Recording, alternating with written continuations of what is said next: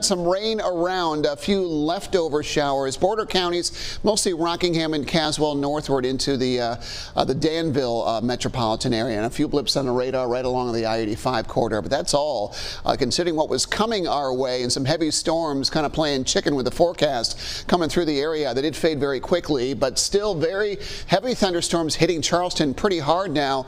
A lot of folks about to be woken up on vacation very early in the morning at Myrtle Beach. Conditions are looking pretty stormy stormy there over the next few hours. We get another system behind this moving very quickly as well. This could bring some damaging winds across the western part of the state uh, into Georgia and South Carolina for round two later this afternoon. Here's your hour by hour kind of forecast. I think this could get in a little earlier than we're showing and you can see here we are at 3 o'clock, probably around noon, 1 o'clock.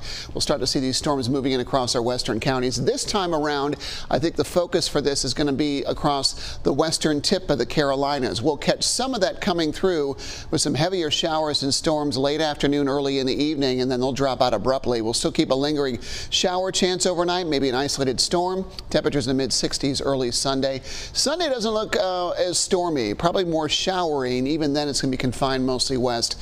Uh, still, though, highs in the lower 80s in the afternoon with uh, intermittent showers, a possibility a bit later uh, in the day tomorrow. And then we uh, start to heat things up again. We're going to be uh, watch that storm system follow this particular path. This could shift later this morning, so I'm going to keep a close eye on this. But notice that we're kind of on the marginal edge of this. Uh, we don't really have any full counties in a greater risk area. It's close though, and it does bear watching through the day today for those afternoon storm chances. Following day on Sunday, uh, western part of the state under at least a slightly elevated risk for severe weather, and then heading into Monday too, uh, we could see a few strong storms across our western areas.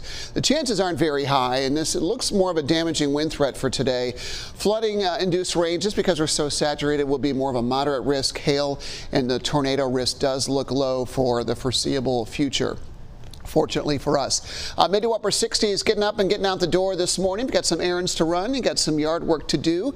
You can certainly squeeze that in early on today. 50-50 chance for rain late in the day after a high of 81 degrees. That rain chance starts earlier in our western counties, 30% by noon, 50% uh, as we get into the afternoon with rain more likely in the mountains and a high of 75 degrees today.